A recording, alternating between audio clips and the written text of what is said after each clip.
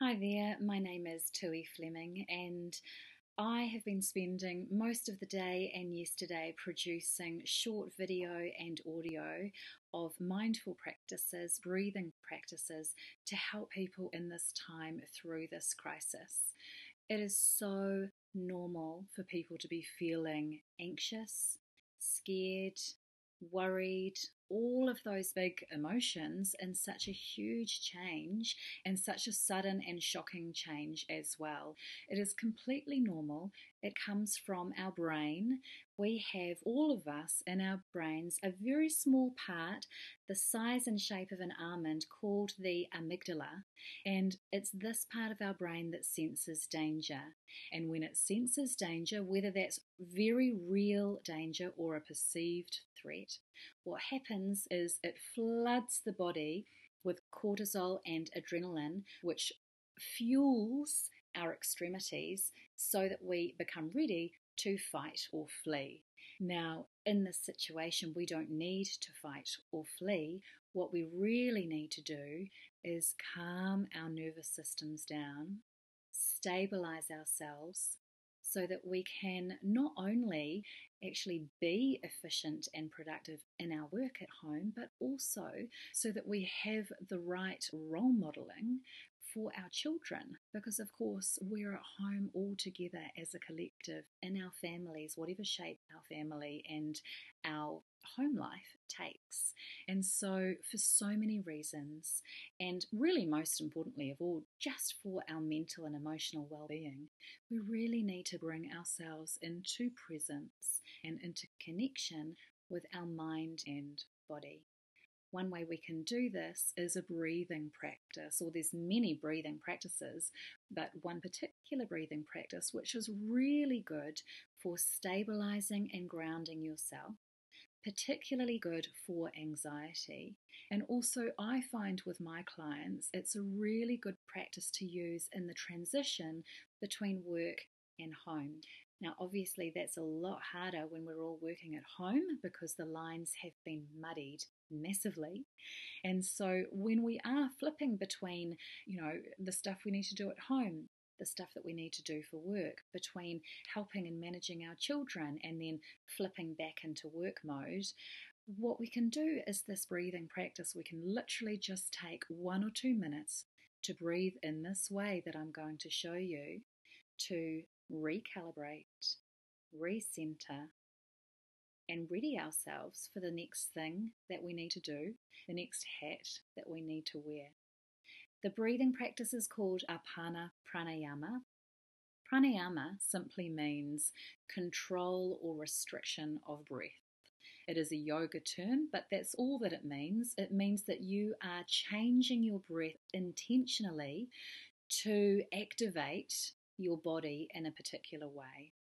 So, this breath, apana pranayama, the word apana refers to downward flowing energy. So when we are anxious, we're all up in our brain. Our breathing can be really rapid and shallow up in our chest. Whereas what we want is we want our breathing to be down lower in our belly. We want to encourage deep restorative belly breathing. So that's what we're about to do. If you'd like to follow along with me, you can do it seated, but it's really much more powerful if you stand up. So if you can, find a place to stand up now. Make sure that both your feet are hip distance apart and planted firmly, not strongly, gently, but firmly, evenly on the floor. And then, just for a moment before we breathe or before we start this particular breathing practice, just roll your shoulders down away from your ears. Maybe move your neck from side to side just to release any tension between shoulders and neck to extend extend the length between your shoulders and neck so you're not all up like this. So roll those shoulders back down away from your ears. Draw your tailbone down towards the floor so that you're lengthening your spine. And as you do, draw your abdominals in ever so slightly just to switch on your core and to find a certain amount of strength there. So, already in this position, you are finding strength and stability in your body. preparing yourself for this breathing practice. And now, with me, let's synchronize our breathing. So, let's all exhale now. And then on your inhale, you're going to visualize sending the breath all the way down past your chest, down to your belly. Pause with the breath there for a beat.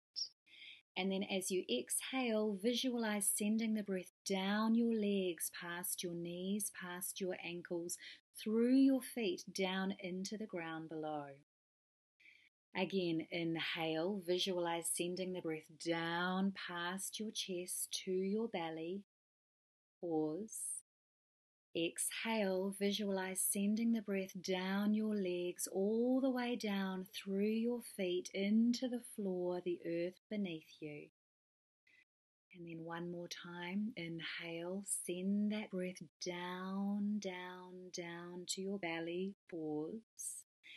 Exhale, continue sending that breath down, down, down, connecting you here and now this time, this moment.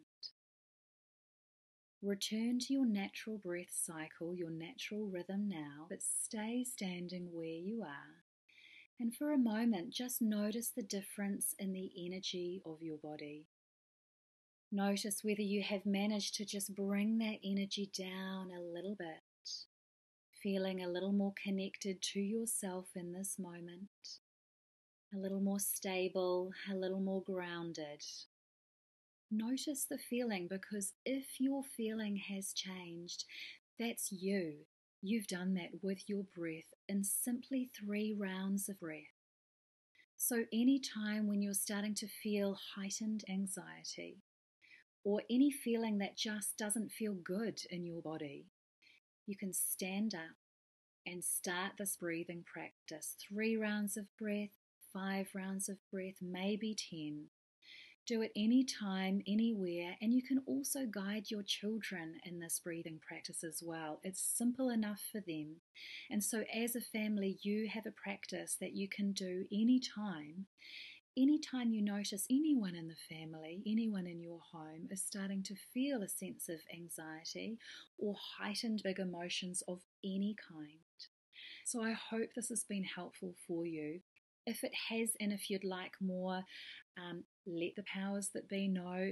Get that feedback through to me. I'm really happy to deliver more well-being, breathing, and visualization practices for you and your family through this time. Stay safe and be well.